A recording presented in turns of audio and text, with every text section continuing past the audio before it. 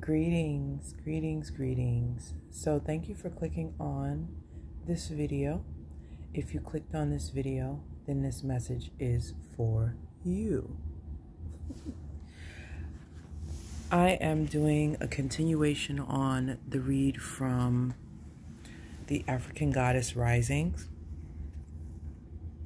by Abiola Abrams, going through this oracle deck and providing readings However, if you clicked on this reading, then this message is for you. And I'm doing two cards, just two cards with the message for you from the Abiola Abrams Oracle deck. Okay, the first card is Long Bubby Susie, the goddess Long Bubby Susie. Okay, representing shame. Shame. Let's look at the artwork on this card. Okay. The second card is Jumbi, the goddess of masks. Okay. The goddess of masks, Jumbi.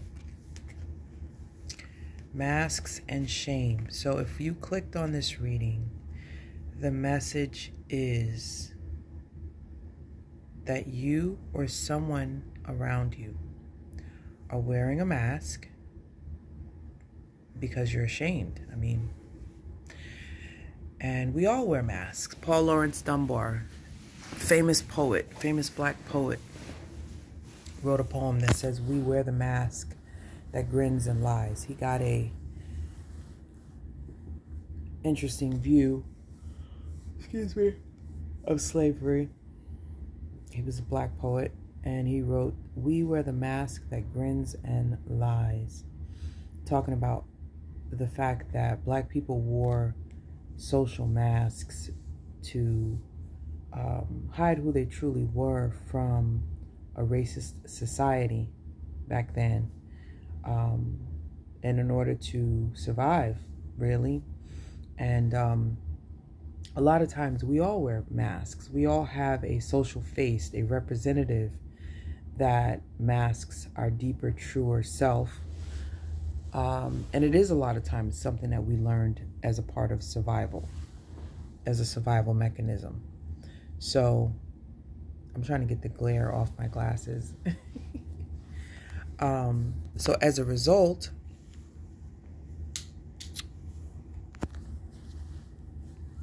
a lot of times people wear masks for different reasons. For example, when I am honest about myself and about the social masks that I wear, I wear them for um, trust issues. I try to be authentic, you know, but um, you can't trust everyone, and not everyone gets to know the real you or the true you because that's a privilege.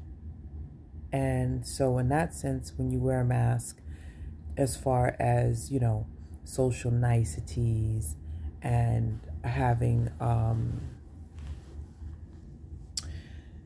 having a, um, connection with people that's based off of societal expectations. It's not that deep of a relationship. For example, you know, working side by side with someone doesn't necessarily mean you have to be the best of friends. It doesn't necessarily mean that um, you guys are bosom buddies. It means that you spend a lot of time together. However, um, that doesn't need to be someone that you have a deep connection with. It's someone that you were put to work next to, to, you know, get a paycheck and to achieve a common goal. And you can be polite and you can be civil and you can be you know, somewhat personable, but the true you um, really should be reserved for the special people in your circle. So, this message for you, however, I believe that if you clicked on this reading, you have a deep sense of shame about something. Now, shame, just like any personality disorder, we all have a, a normal sense of shame, but when it becomes a disorder is when it's not reasonable. For example, you know, someone who is dyslexic, I mean, some not dyslexic. Okay, let's say maybe you you have a dyslexia and you're hiding it. Maybe you're hiding the fact that you're dyslexic, and um, you feel a sense of shame about that instead of empowerment over the fact that um, you're overcoming something that normal people don't have to overcome, which makes you extraordinary. But you're looking at it like the fact that you're different and you should be ashamed of it, and that um, causes you to wear a mask to, you know, hide something that, honestly, if you flip your perspective on it, you shouldn't be ashamed of it. You should be proud of your um, ability to overcome something that most people don't. Okay. But um, you look at someone who has body dysmorphia. So they may be feeling shame over some, you know, their body or their physical appearance, you know, thinking that it's one way when in fact it's not. Excuse me. Sorry. When in fact it's not that way. They just feel like it's that way because of a distorted sense of shame. Where does that shame come from? Where did it even come from? It's not even based or rooted in reality. And a lot of times when we have a distorted sense of shame, it usually isn't rooted in reality. It's usually overblown, overthinking. And if you're overblowing it, it means that you also have an inflated sense of self because nobody, at the end of the day, most people are very self centered and you think they're thinking about you. They may think about you like a little bit, but for the most part, they're thinking of themselves. I mean, that's just human nature. Most of the times, I mean, the dominant part of what people think about is themselves, how they feel, what they want, uh, what's wrong with them, even. You know, they're wrapped up in their own stuff centered around themselves because each person's life is a um they're the center of their own world you know, I'm the center of my own world. You're the center of your own world. But your sense of shame is inflated. It's um it's something you really need to get to the roots of why. Why are you hiding it? Why are you ashamed of it? Why are you carrying this deep sense of shame? And what can you do to, first of all, forgive yourself, um, change your perception of it, because the perception of it needs to be changed by you. It's how you look at it that matters. And then that will extend outward to the world from your energy. Because if you are looking at it like, um, you know, I'm, I'm ashamed of uh, this, I think it's so terrible, and, um, you know, I need to hide it from other people, then that's going to extend outward whether you realize it or not because people will pick it up energetically. So, you know, I'm an empath and I can pick up on energy, you know, so sometimes someone will be wearing a mask and I can sense what's really going on underneath because I feel the emotion. I'll feel the shame, I'll feel the embarrassment, or I'll feel the hidden rage or the hidden um, sadness or depression, you know.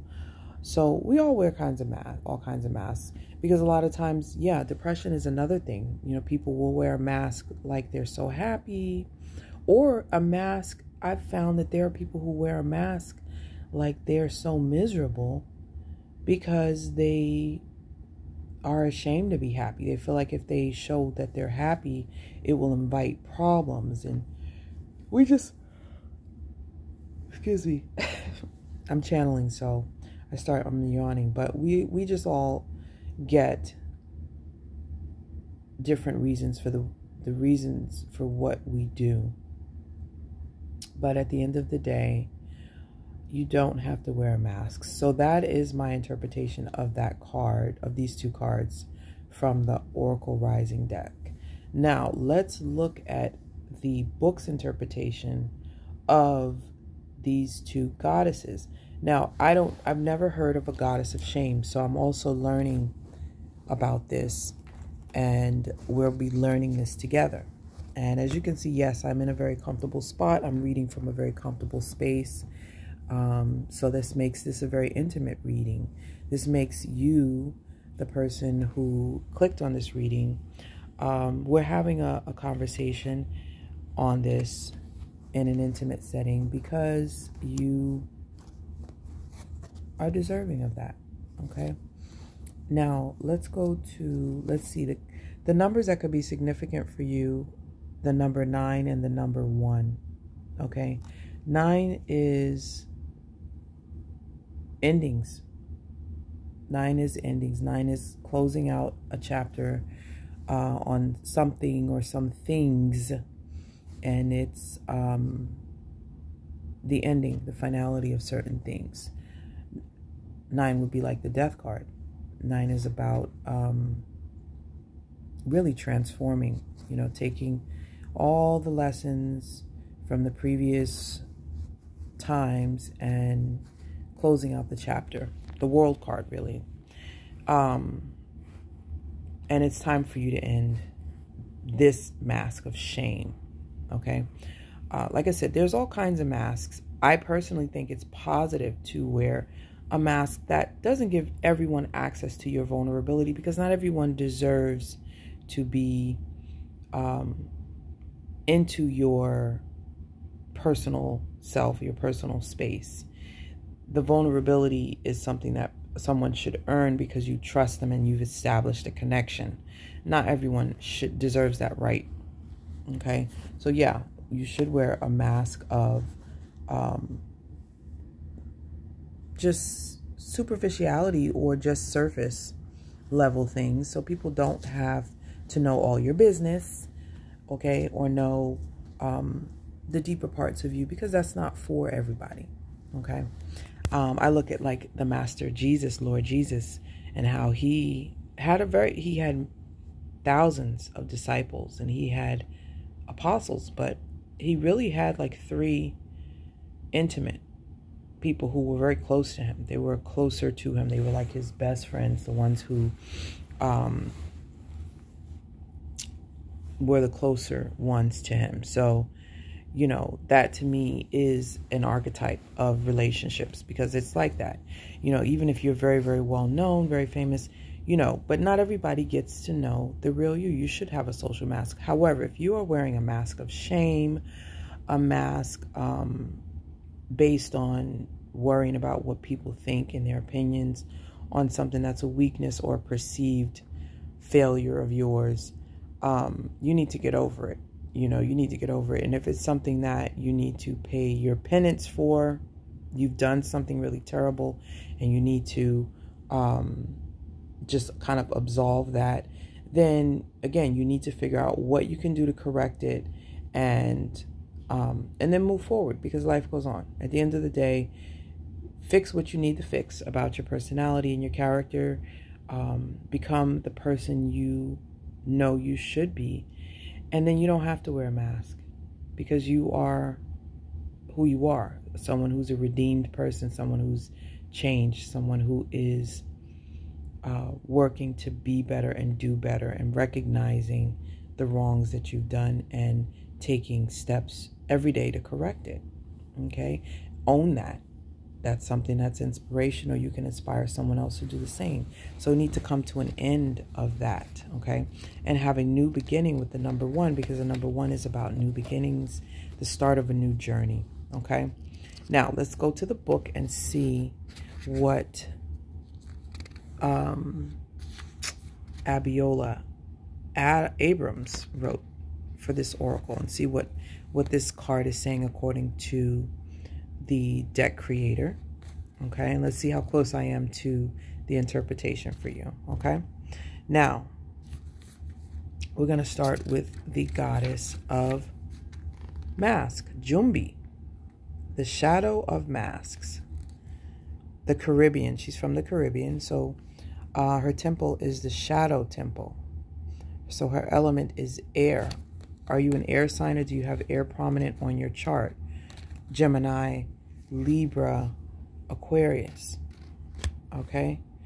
Jumbies are the scary, shadowy, otherworldly spirits and monsters of the Caribbean.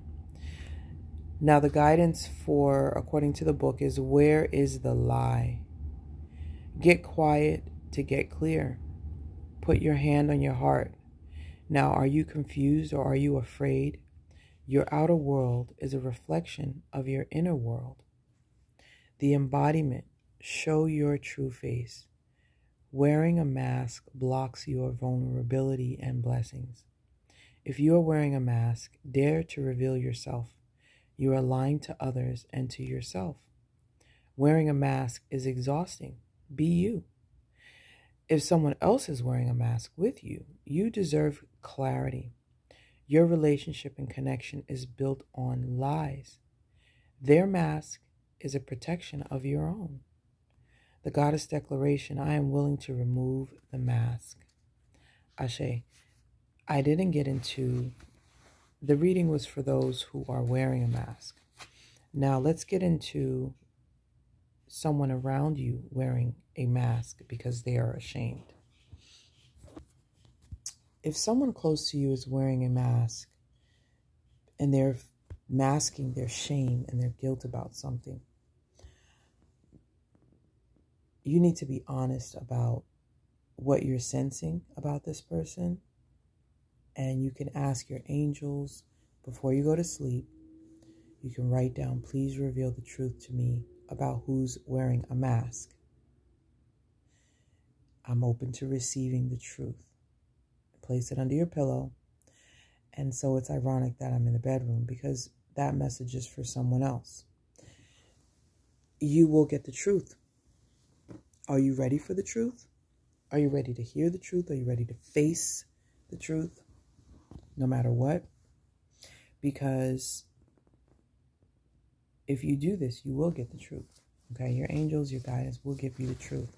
But are you ready to face it? Do you want to run from it? Do you want to laugh about it? Do you want to make light of it? Or are you really ready to face the truth about this person and the mask that they're wearing and why they're wearing the mask and then you can you can determine whether or not you feel the need to help them address the deeper issue or if you realize that you're not their therapist and you're not their mama or daddy and they need to face and work on this for themselves. But in the meantime they don't need to you don't need to have people who are lying to you around you okay but a lot of times, if we have people around us who are lying to us, are we lying to ourselves? Because the fact that we're keeping them in our life means that we're lying to ourselves about something. Because deep down inside, we know. Okay? So that is a message for whoever is wearing a mask around you. Okay? Now, let's get the um, the oracle interpretation of the next goddess the long Bubby Susie. Okay, shame. Let's see what Abiola has to say about this. Now, the long Bubby Susie is a shadow goddess from the Garifuna, Belize area. She's from the Temple of Shadows, and her element is fire. So you have fire prominent on your chart, Aries, Leo, or Sagittarius sun, moon, or rising, Venus, um, Mars, uh, any of these placements on your chart. Now, uh, Jupiter or Saturn, this could be your Saturn placement. If these are both shadow cards and you clicked on it, you could have your Saturn in either a air sign or a fire sign, or you could have a, um, I want to say a south node in either a fire or an air sign. So you can look on your chart and see. But the long Bubby Susie keeps the children of Belize terrified. She's viewed as a shadow monster. So again, these are monsters. She has the power to kill or to nurture with her long, scary breasts that contain milk and poison. Okay?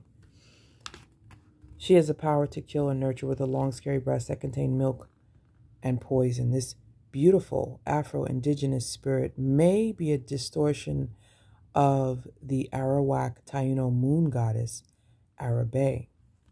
Now, the shadow guidance for you, or maybe the person who's around you doesn't realize, but you are beautiful and loved. Every part of you in your journey is beautiful. Even the ugliest moments, you have a heart, soul, and breath that makes you beautiful. You are secretly scared. The embodiment is that you are secretly scared that you're not enough. Shame is lying to you.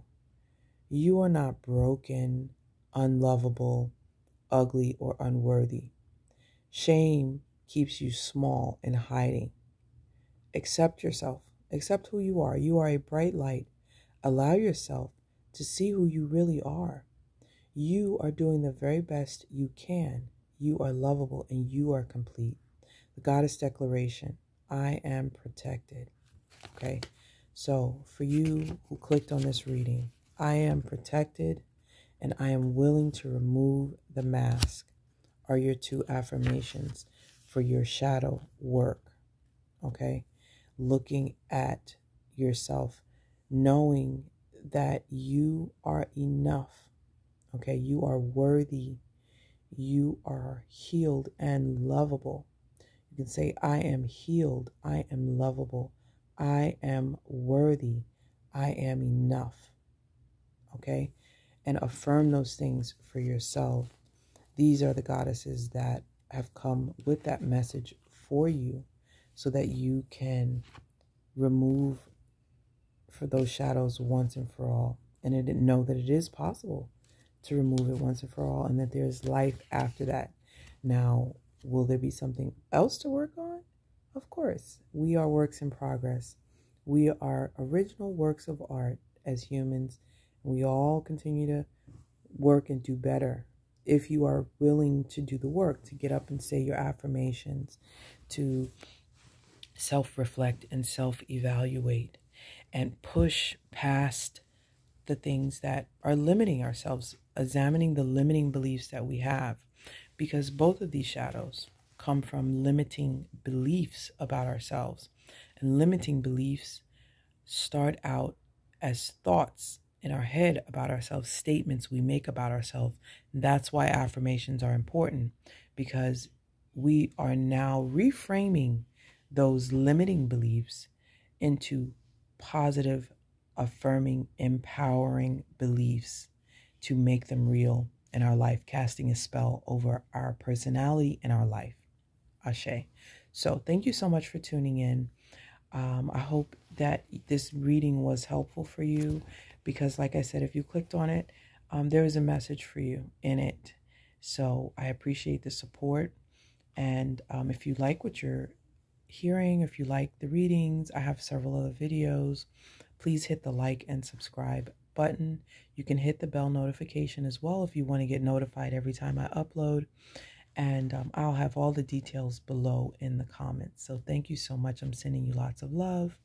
Um, if you want to connect, you can find me on Instagram at ULHC underscore oneness or minister, or you can find me as um, Kismet Destiny Hope um, at Kismet Destiny Hope. Either one of those pages are my page on Instagram. And you can also check out our website, www.universallifeandhopecenter.com. So all the details will be below.